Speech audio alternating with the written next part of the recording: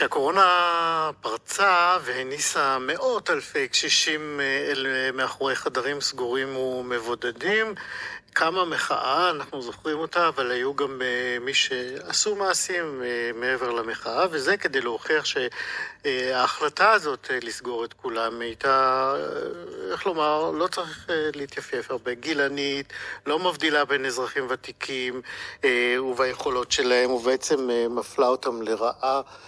על לא עוול בכפם.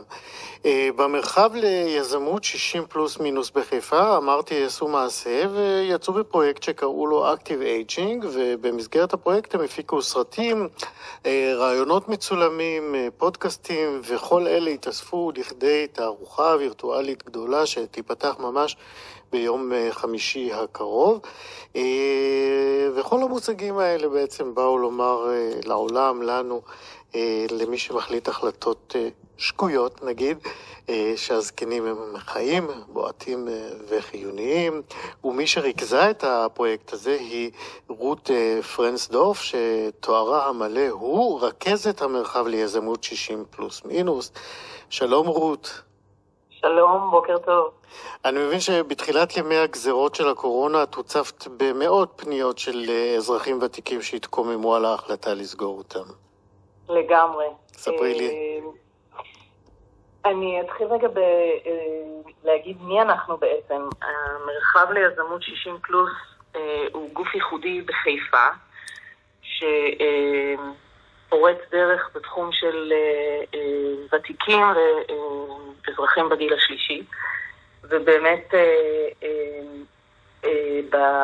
בהתחלה של הסגר באמת הוצפנו בכל מיני פניות מחברים במרחב, יש לנו מעל 700 חברים כיום, שהיה להם מאוד מאוד קשה עם ההגדרה הכוללת, ולאט לאט הקולות התגבשו, ובשלב הזה החלטנו, בתור הצינור שרוצה להוציא את הקולות שלהם החוצה, לצאת בקמפיין שכולו על טהרת היצירות והעבודות של החבר'ה הגמלאים שלנו.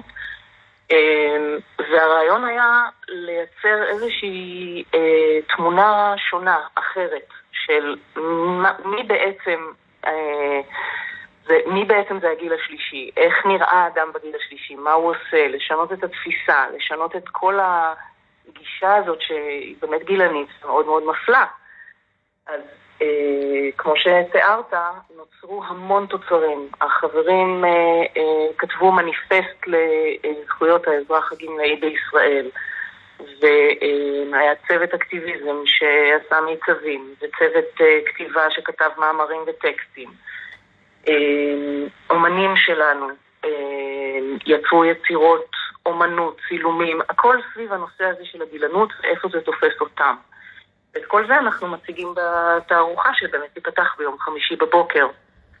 באיזה אופן התערוכה תוצג בתוקף הימים המשונים האלה, שיסתיימו אולי בקרוב, אנחנו שומעים. היה, היה לנו ברור שצריך לתכנן הכל קדימה בראייה שבעצם זה, זה לא יכול להיות, זאת לא יכולה להיות תערוכה פיזית. ולכן חברנו למוזיאון הווירטואלי הבינלאומי. יש דבר כזה? מה זה? יש דבר כזה, זה פרויקט של עדי לסרי, mm-hmm. שנקרא באנגלית The World Virtual Museum.com, mm-hmm. וזה בעצם פרויקט חברתי שהיא יזמה והקימה, ואנחנו משתפים איתה פעולה, ובעצם התערוכה תוצג בחלל מיוחד בתוך המוזיאון, זו תערוכה וירטואלית במובן שיש חדר שאפשר להסתובב בו, אתה שולט דרך החיצים ומתקדם לכיוון היצירות שאתה רוצה לראות. Mm-hmm. יש לנו חמישה, חמישה קירות, שלושה קירות של יזמים, מתחלפים כל שבוע, אומנים, סליחה, ושם נציג גם את כל הכרזות שיצרנו בתקופה הזאת. בסגנון לצחוק אין גיל, לתעוזה אין גיל.